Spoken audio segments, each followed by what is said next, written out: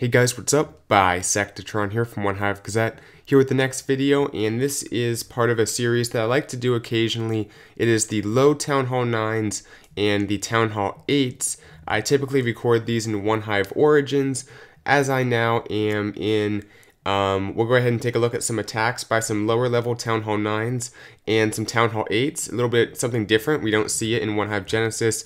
We don't see it in One Hive Alpha even One Hive Trinity now, not as much.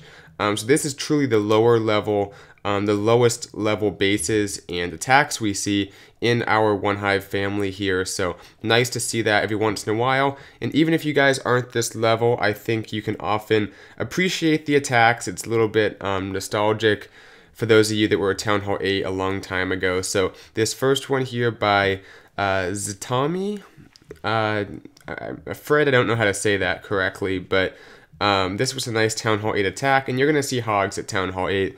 That's pretty much what's working. That's what's been working. That's what always seems to work at Town Hall 8. Um, but it's still fun to watch nevertheless, and um, this attack just crushed this base. Not the best layout, granted, but I think it had some decent, you know, giant bomb possibilities some unknowns for sure, and these are going to be fresh hits, so you don't know exactly what's up. Um, as this attack goes, just to, you know, so you guys know, I haven't uploaded in quite a long time. I've just been really busy, and actually my phone screen got cracked here. Um, you can't see it in the recording, but the phone that I'm looking at right now that is being uh, mirrored onto my computer screen, actually the screen got cracked pretty bad. Um, and for like a split second, uh, I was worried like, okay, now there's gonna be a big crack on the screen when I'm making videos, and then I realized that it doesn't quite work that way. Um, so fortunately, I can still record off my phone. Um, my iPad's fine as well, but I like to record off my phone for some of these types of videos. So um, it's a little bit annoying to have to deal with, but I don't think I need to get a new phone. I'll just kind of deal with it for a while. Um, so that just a little update on me. I'll try to get the videos going out a little bit more often. Um, I'm in a, a, a, busy point, but uh, once the uh, once we get closer to the holidays, I should be a lot less busy. Um, getting close to like the end of uh, December ish. So that all being said, a very nice attack. You can see crush this base. A nice hit to Zetiami. I guess I'll take one more attempt, maybe get it right. Two's better than one uh, double my shot at getting that one right, but nice hit nonetheless. And uh, we'll fast forward to the end here. This one was from the current war. We'll take a look at some past attacks as well. Like I said, both Town Hall 8, like this was, and those low-level Town Hall 9s with the low heroes, oftentimes hitting the lower bases. So let's hop into the war log here. Uh, this one's against the Woods, have two attacks to take a look at. Um, first one here on the top base, nice hit, um, nice Laloon. And um, you'll notice more trends when you take a look at these low level heroes. This is stuff I've been saying for quite a long time.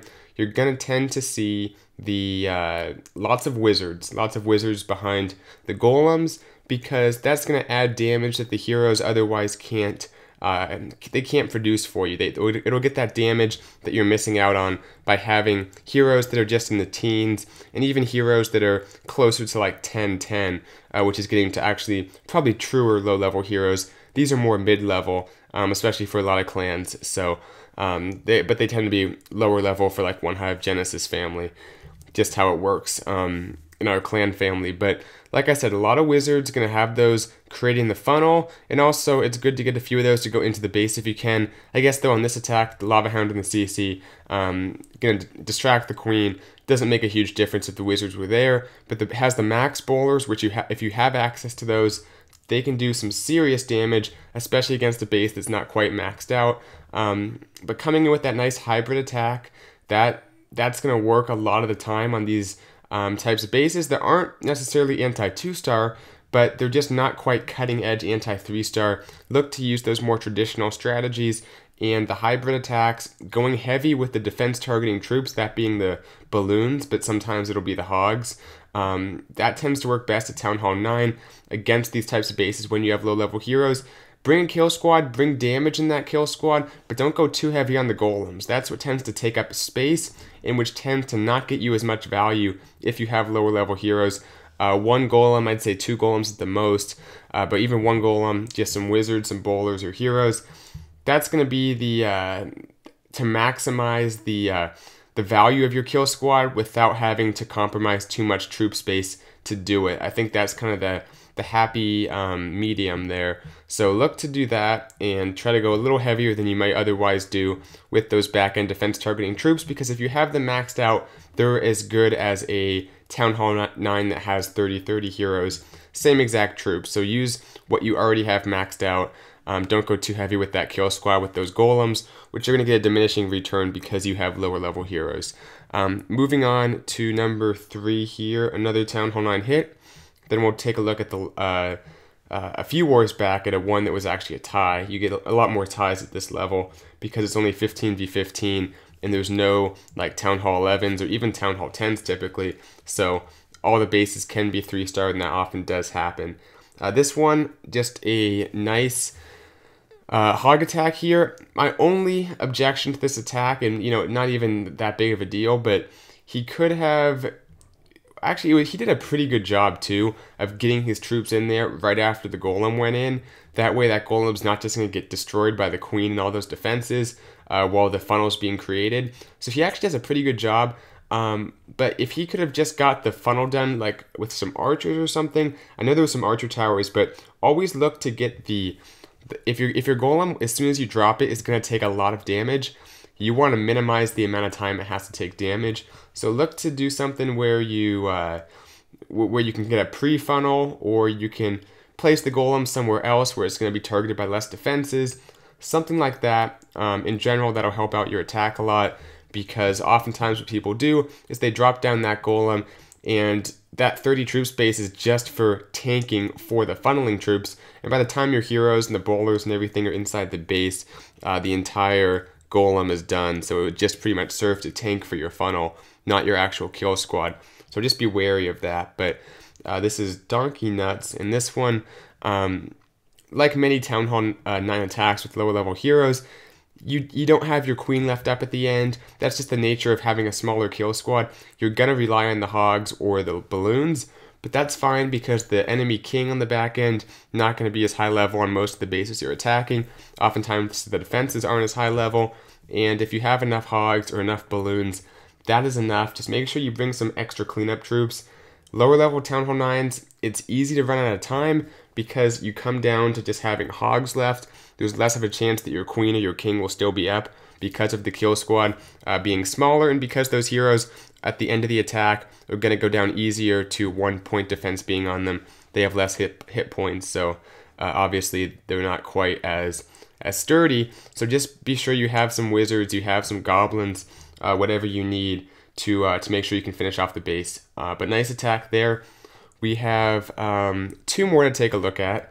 Going to our uh, most farthest back war uh, against Galat Empire. This one, like I said, ended in a draw, and we're going to take a look at number three first.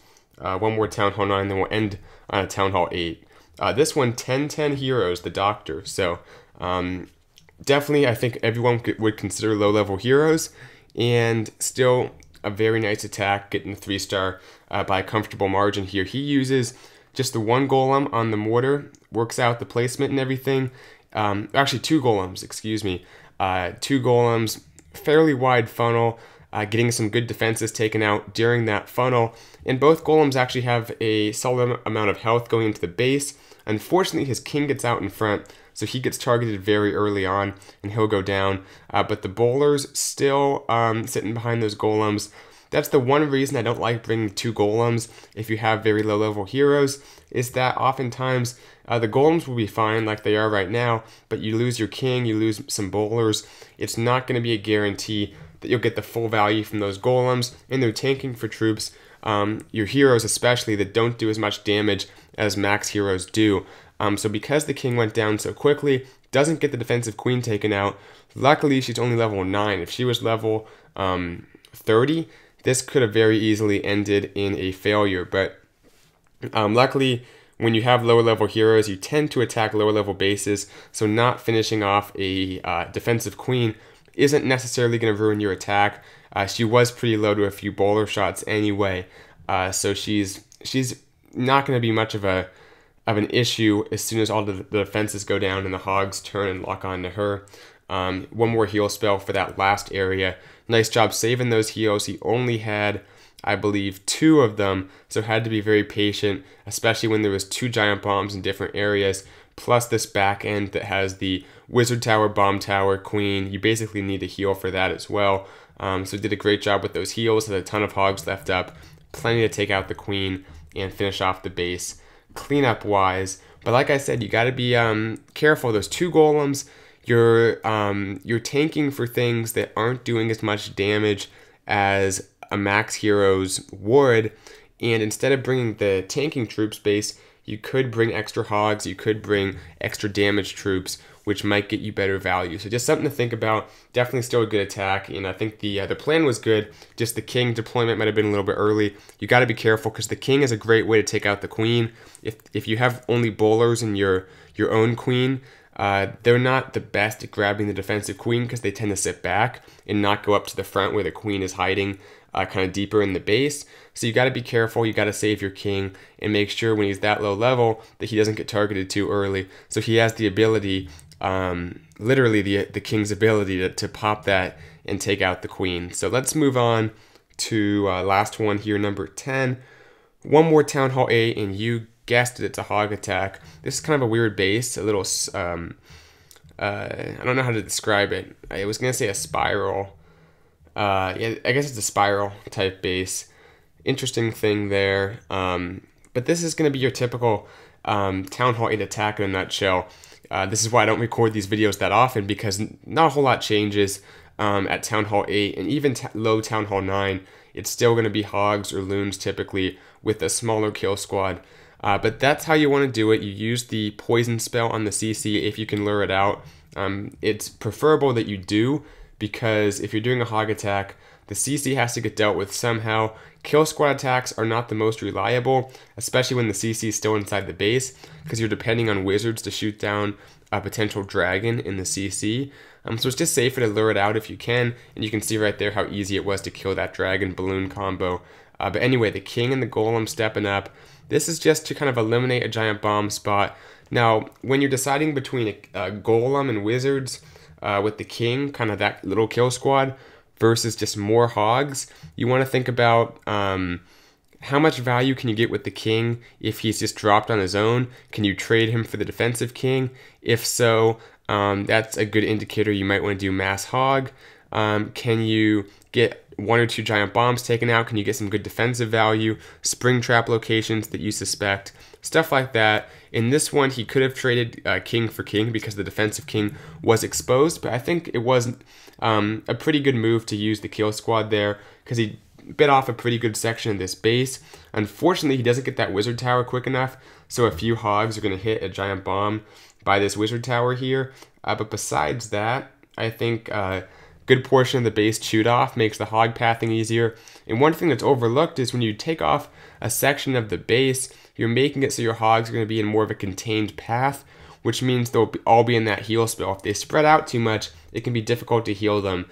And uh, one mistake with the heal spells, if you heal the group that was smaller and the big group hits a giant bomb, you could end up failing an attack. So uh, something to think about there. But this is, oh, again, this uh, this name I can't say, but I guess he got double featured.